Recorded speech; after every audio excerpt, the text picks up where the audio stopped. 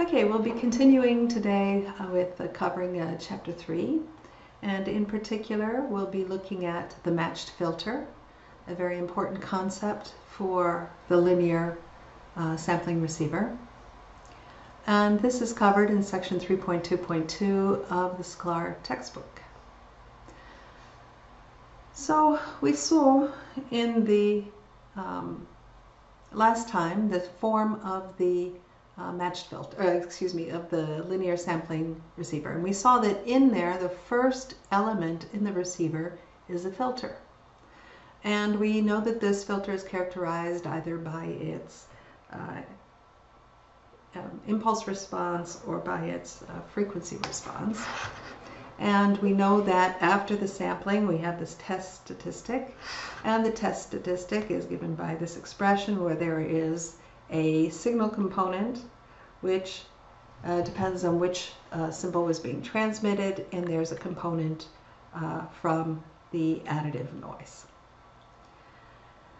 So the signal and the noise contribute equally to the statistics.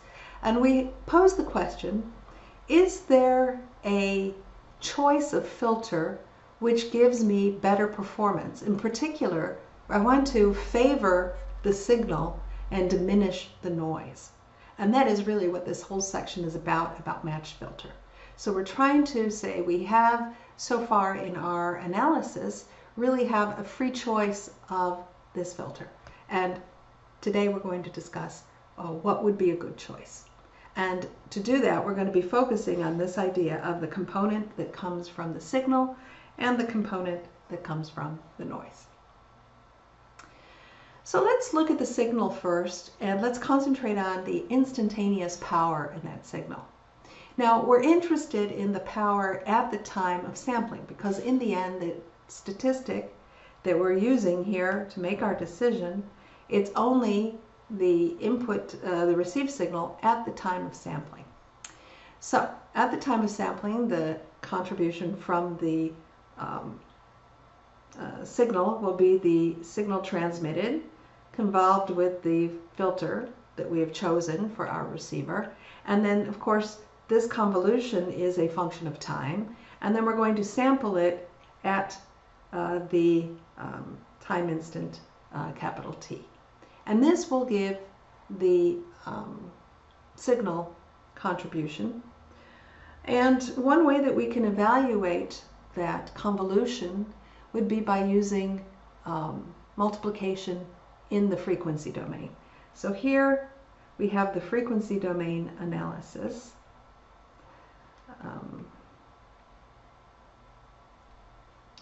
and what we're interested in is the convolution. So to get the convolution back in the time domain, I do an inverse Fourier transform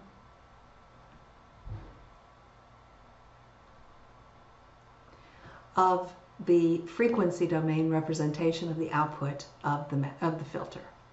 And of course, once I have the time domain version, I again do the sampling at the time of t. So I can look at the signal contribution and I want to really focus on the impact of the choice of filter and it's a little easier for me to see what's going on in the frequency domain. So I have the choice of working in either domain and in this particular case uh, frequency will seem to be the best choice. So for instance, we have this evaluation which is a function of frequency and the only place that t appears in this inverse Fourier transform is here. So here's the function t. And of course I'm going to evaluate that at capital T.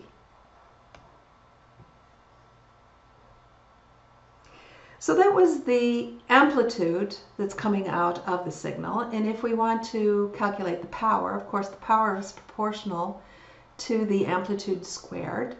So we would take this inverse Fourier transform, we're going to leave the possibility of this being complex. And so I'm going to take the module squared in order to calculate what is the instantaneous power in the signal sample uh, at the receiver.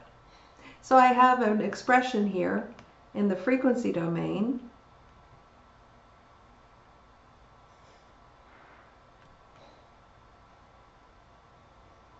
which I think is going to be a bit easier uh, for me to analyze. So this is what's going on on the signal. And now we have to look at what's going on uh, with the um, output of the noise. So let's think the noise is a random process and we know that it has a power spectral density. And if we have a linear time invariant system, a system with a frequency response of h of f, and we know that the input power spectral density is g of x, you recall that when we did a review of filtering, we saw that the power spectral density at the output is just the power spectral density at the input multiplied by the module squared of the filter frequency response. So now I can ask myself, what happens when this input is noise? What is the contribution at the output? And again, because of this relation with linear um, time invariant systems, it's easier to work in the frequency domain. So when I use noise, then I know that the uh, power spectral density of the noise is flat across all frequencies. So I have the power spectral density of n0 over 2, which means that the output is basically the shape of the filter that I've chosen, and it's being multiplied by this density of the noise.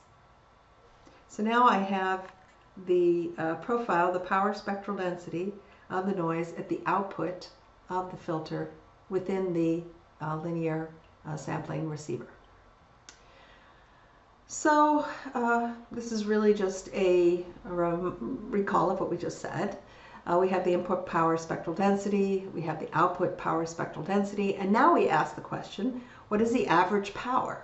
And to find the average power, what I do is I integrate over the power spectral density. So this is the density over the frequency domain, all frequencies. And so now if I want to know the total power,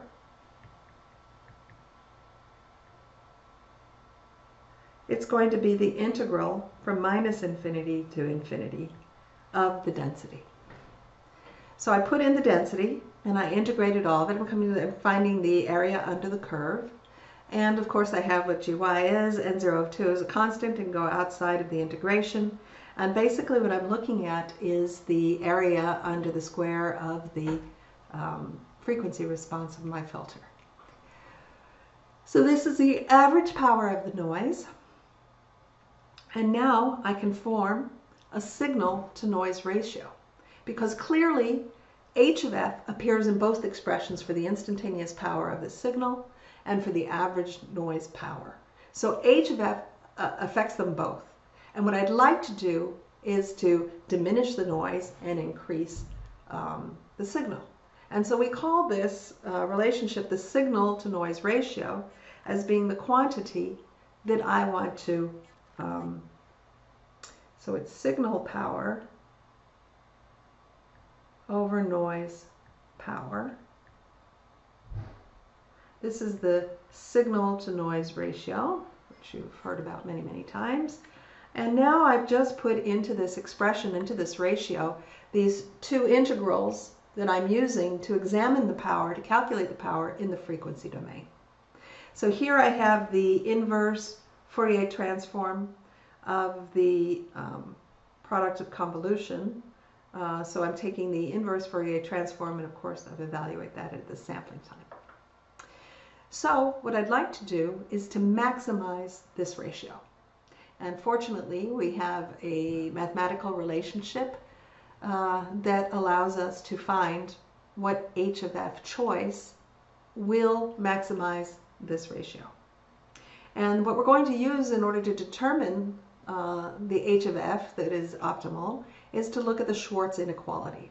So the Schwarz inequality is given in blue here and it relates any two functions, any two functions g1 of x and g2 of x, and there can be complex functions.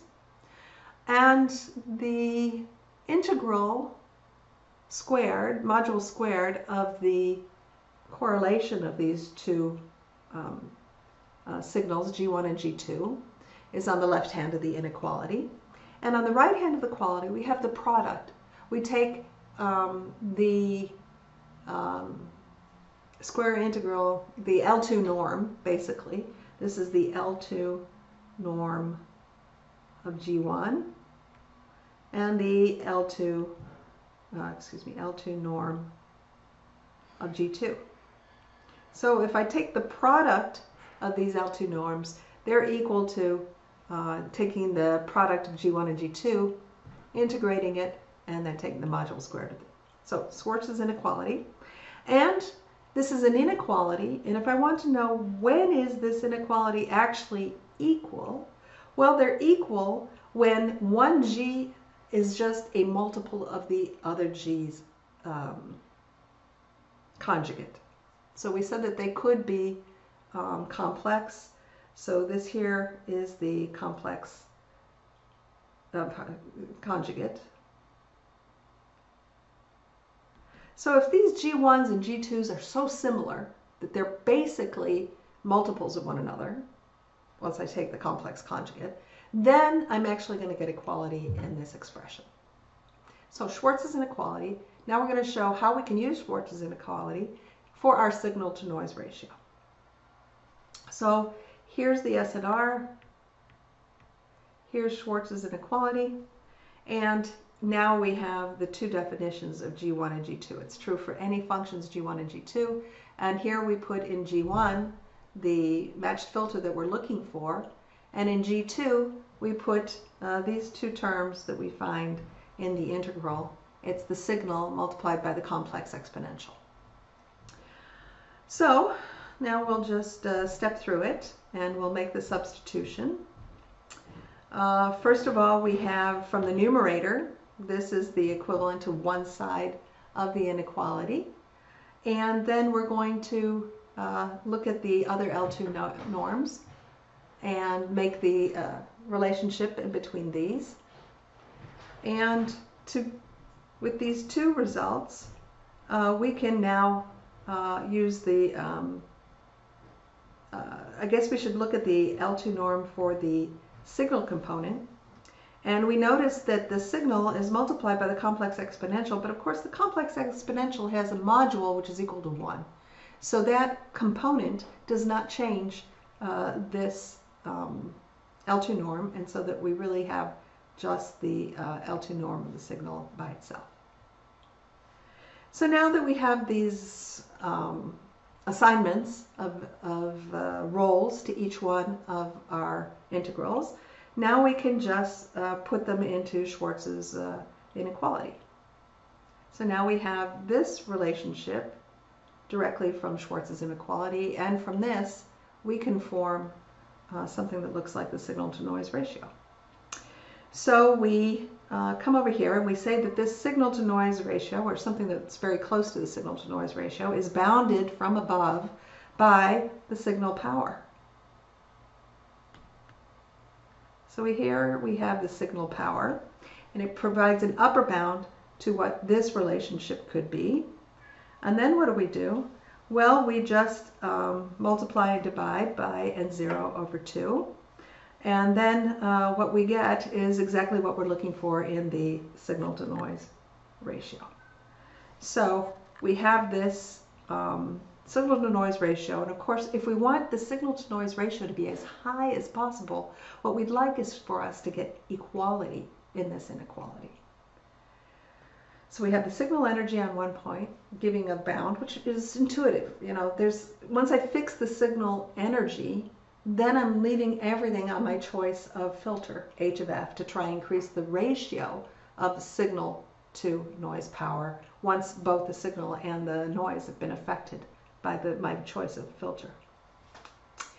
So, uh, continuing, we now have uh, this form of the uh, Schwarz inequality. And remember I said that we had equality when G1 was pretty much a multiple of G2. And so this is uh, the relationship that we get uh, now uh, that we require for our filter. And basically our filter should be our signal. Course, there's a complex conjugate, so it's, it, it's, we say that it's matched to the signal. So it's not the signal exactly, but it's matched to the signal. And uh, by matching it, this constant doesn't matter. Um, this is uh, complex exponential is will have an effect I'll, I'll talk about. Uh, but basically, we're best choice is pick whatever you want for the signal and now make your match filter look like this signal. So we have equality in the Schwarz's um, inequality for this relationship. And if we look in the time domain, what this means, so I'm going to take the inverse Fourier transform of this um, complex conjugate of the signal um, spectrum multiplied by this complex exponential, and this complex exponential has the impact of being a time delay. So basically what we're doing is um, flipping our signal in the time domain and putting it into a delay. So um, this is a way of looking at it in the frequency domain and another interpretation in the time domain.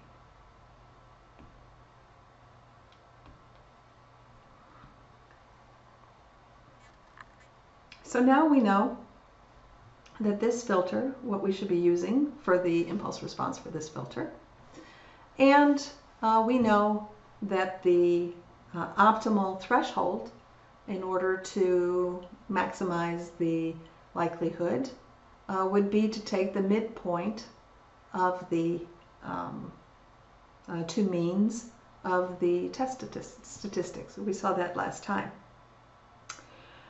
So from this uh, filter, first of all, which S? There's two S's. There's S0 and there's S1. So it's great to say I should match it, but I should match it to which, which one of these two possibilities in the binary case. And in, of course, the n-ary case, there'll be multiple choices. So which one do I use? So do I use S1 of t? Do I use S2 of t? Well, let, let's take each one, one at a time. Imagine that I have my received signal and I split it between two filters and one of them I match to zero, and one of them I match to one. So in the end, what I get then are two test, test statistics. Not one test statistic, but two. And we know that in each one of those branches, I will have optimized the signal to noise ratio when it's the right one, okay? So what I'm going to do is I'm going to have two test statistics and then my strategy is going to be choose the largest. Because in each branch, I will have optimized the signal to noise ratio.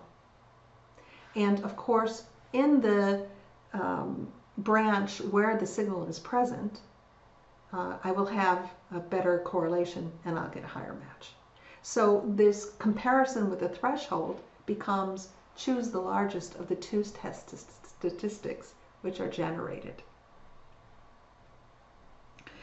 And in fact, I don't actually have to construct two separate uh, matched filters.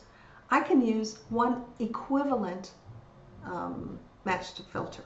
And that equivalent is, since I'm going to be choosing the largest, why don't I just form the difference? So if I have the difference between the two, it will, uh, if it's positive, I know that the Z1 was larger, and if it's negative, I know the Z0 was larger. And so what I can do is compare this new statistics, compare it to zero, and this effective filter that I use is just the difference between the two filters. Then the output of this one filter will give me a statistic I can test against a threshold.